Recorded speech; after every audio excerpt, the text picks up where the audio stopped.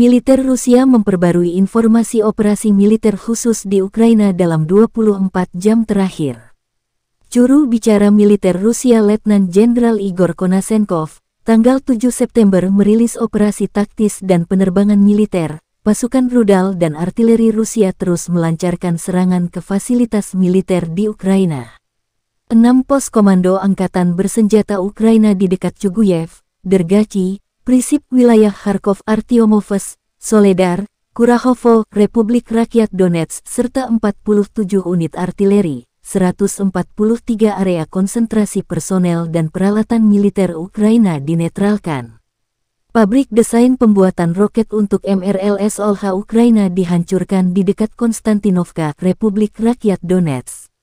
Tiga tempat amunisi rudal, persenjataan artileri, dan amunisi dihancurkan di dekat Liman, wilayah Kharkov, Ocheretino, Republik Rakyat Donetsk, dan Gulyaipol, wilayah Zaporozhye, serta satu radar anti baterai buatan Amerika Serikat dihancurkan di dekat Zelenodolsk, wilayah Dnepropetrovsk.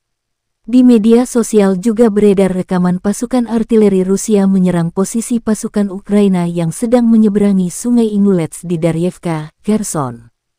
Jembatan ponton yang dibangun Angkatan Bersenjata Ukraina dihancurkan.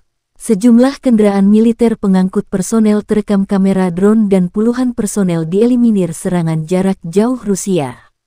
Serangan balik Ukraina dari arah Sungai Ingulets gagal total dengan jumlah kerugian signifikan.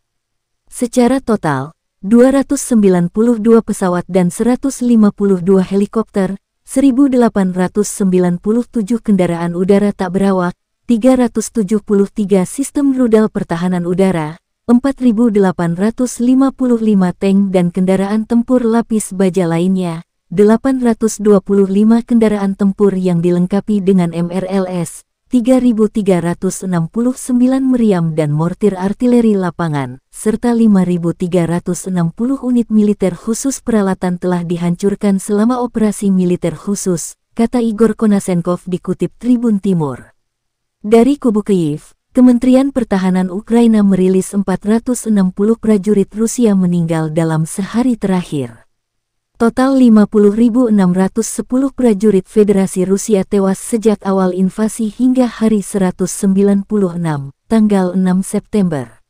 Presiden Ukraina Volodymyr Zelensky terus menggalang dukungan internasional membantu mengusir Rusia.